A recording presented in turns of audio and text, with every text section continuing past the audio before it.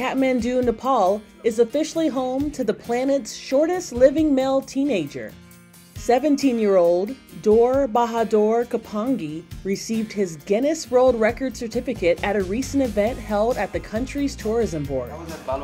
Khapangi is 73.43 centimeters or 2 feet 4.9 inches tall. He lives with his parents and is in grade 1 in his village. According to his brother, Khapangi was typical when he was born, but stopped growing at seven years old. He adds that Khapangi is shy and doesn't talk much. Before this, Khagendra Thapa Magar, also from Nepal, was the shortest teen.